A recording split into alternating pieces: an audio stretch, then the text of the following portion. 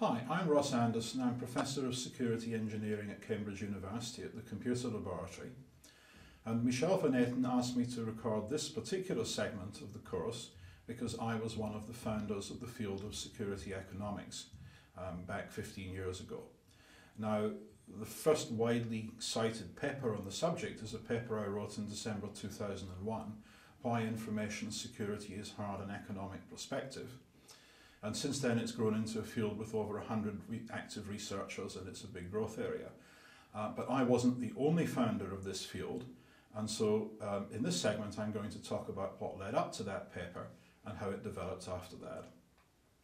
Now, the traditional world of information security from the 1960s, when we started getting shared computer systems, up until the 1990s, saw information security as a really technical subject which was about controlling what a firm's staff could do for the most part and also keeping the bad guys out.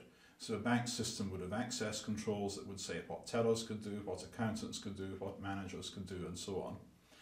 And each firm's systems were pretty much isolated from other firms.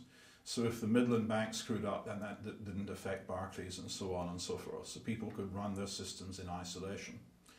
But the internet really changed that game because all of a sudden, the arrival of the internet meant that failures of security um, in one firm could harm another firm.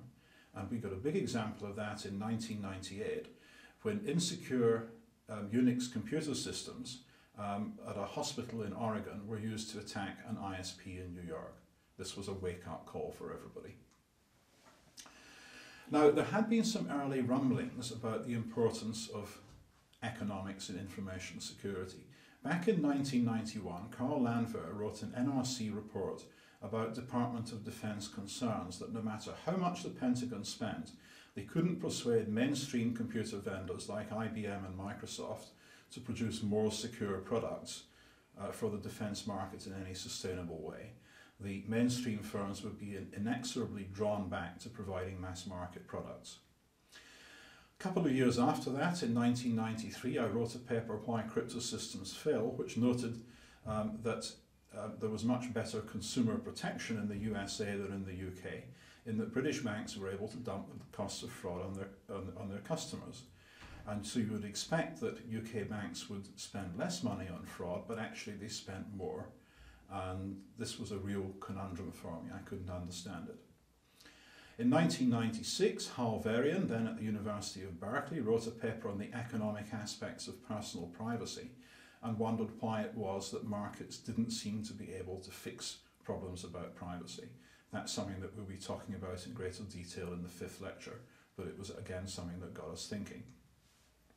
And so the spark that got this thing going was when I met Hal in May 2000 at the Oakland um, um, IEEE Security and Privacy Conference.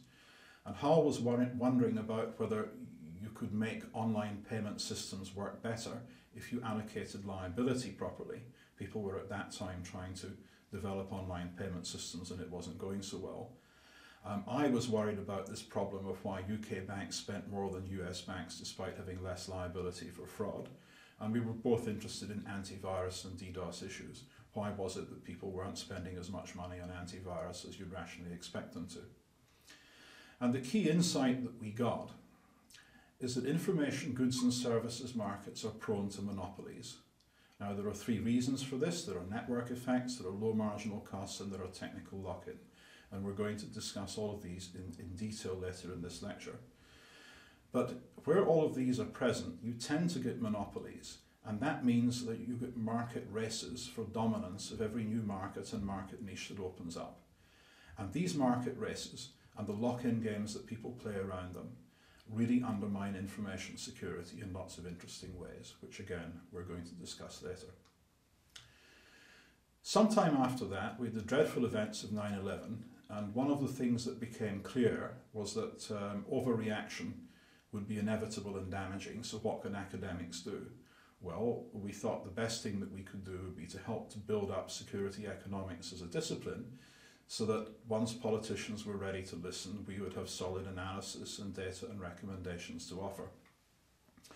So um, after I gave a keynote talk on security economics at SOSP in Banff, which became the Why Information Security is Hard paper, I went on to Berkeley to work with Hal um, on security economics. And um, we got a, a wave of results come out over the next few months as various people got interested. The take home message is that where Alice guards the system and Bob pays the cost of failure, you can expect trouble. And network effects are only one of many ways in which platforms can become insecure as a result of poor incentives. Now, you then have to start thinking about what you can do about the problem, and if vulnerabilities are an externality, a side effect of transactions like environmental pollution, perhaps we can fix them with markets, just like you have cap and trade markets for CO2. Um, what really causes privacy failure? Again, the thing that Hal had worried about in 1996. How much should a firm spend on security? Of course, this is the bottom line for firms in the Valley.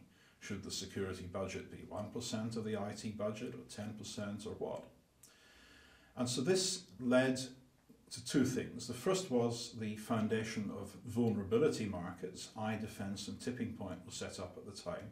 And the second was the first workshop on the economics of information security, both of which happened in 2002. And at that first workshop, we saw a wide variety of papers. We had the first paper on behavioural economics of privacy from Alessandro Acquisti. We had papers on vulnerability markets and externalities from Jean Camp at Harvard. We had stuff on economics of standards from Barb Fox at Microsoft, and that was a, a key thing, obviously, from the point of view of industry players. There are talks on information sharing. Could you get banks to share information on fraudsters? Could you get utilities to share information on attempted hacks on control systems. How would you get them to overcome their risk aversion and their lawyers' tendency to keep everything in-house? And, and then you had people starting to look at returns on security investment. So we suddenly realized that we had the beginnings of a coherent and important subject, and things just went on from there.